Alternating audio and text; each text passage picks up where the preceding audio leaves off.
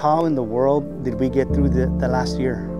It was uh, pretty, pretty scary to, to, to see that there were so many COVID cases. One time we were downstairs and all we saw were gurneys. And we saw one, we saw two, we saw three. It was scary. It was very, very scary, I have to say that. What it means to me to take that vaccine, it's a comfort.